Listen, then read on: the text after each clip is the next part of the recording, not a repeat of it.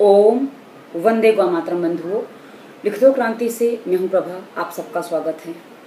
मित्रों, विचार और आचरण दोनों अलग अलग हैं। लेकिन हम कई बार ये सोचते हैं कि जो मनुष्य विचार करता है, यदि वो आचरण करे, यदि सकारात्मक है तो तो वो सृष्टि का उपकार कर सकता है। लेकिन कई बार हम देखते हैं कि व्यक्ति जो विचार करता है, वो कई बार इतना निंदनीय होता है, यदि उसका आचरण कर दे तो बहुत बड़ा अपराध हो सकता है। मित्रों, संसार में आचरण सबसे अधिक प्रभावशाली है। परंतु यदि हम देखें तो इससे विचार का महत्व कम नहीं हो जाता। अच्छे विचारों को आज अंतर्राष्ट्रीय स्तर पर पहुंचाना एक निर्धन व्यक्ति के भी बस में है, क्योंकि फेसबुक और व्हाट्सएप ऐसा माध्यम है, जो किसी के भी विचारों को कहाँ तक भी ले जा सकता है। और इसी कारण हमें बहुत सारे विद्वान और सज्जन व्यक्ति भी मिले, वहीं साथ में कुछ असुर भी मिले। और जो हमारे समाज में बहुत सारी बाधाएँ भी खड़ी कर देते हैं। शास्त्र कभी विध्वंसक नहीं होता।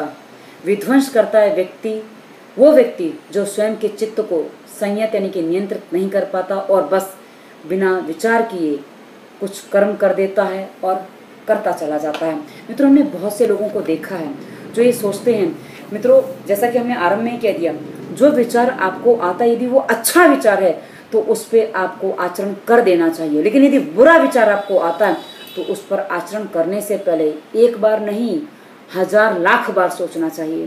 क्योंकि आपको यदि पता चल रहा है कि जो आचरण आप करने जा रहे हैं, वो आपके लिए, आपके समाज के लिए, आपके राष्ट्र के लिए घातक हो सकता है। तो कभी भी ऐसे विचार को आचरण में ना लाएँ। क्योंकि ये विचार जो आपके पास है, वो मात्र अभी आपको खराब कर रहा है। लेकिन यदि ये विचार आपने आचरण में ला दिया तो हो सकता है आपके समाज और आपके राष्ट्र को खराब कर दे।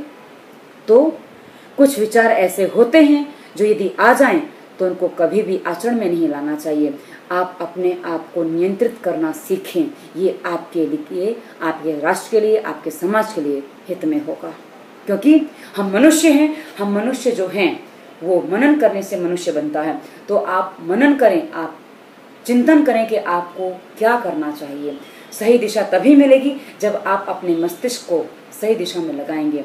मित्रों, संसार में बहुत सारी ऐसी चीज़ें हैं जो खींचती हैं, आकर्षण का केंद्र होती हैं। लेकिन यदि आप अपने ऊपर सही तरीके से नियंत्रण करते हैं तो कभी भी आप भटकेंगे नहीं। आपको भटकने की आवश्यकता ही नहीं पड़ेगी। भले विचार आपको कुछ हद तक मलिन कर सकते हैं, लेकिन आचरण मलिन हुए बिना आपका बहुत अधिक नुकसान नहीं होता। पर आचरण मलिन हो गया तो संपूर्णतः आपका अस्तित्व धूमिल हो जाता है। समझने का विषय बहुत अच्छा है। समझेंगे तो क्रांति लिख पाएँगे, वरना तो चल रहा है, वो चल रहा है। यदि ये समझ जाएँ तो बहुत सारे जो समाज में गंदे काम होते हैं, गलत काम होते हैं, उनसे मनुष्य अपने आप को बचा सकता है। वीडियो अच्छा लगा तो लाइक करिए, मित्रों को बताइए, चैनल सब्सक्राइब करिए। धन्यवाद, वंदे मातरम।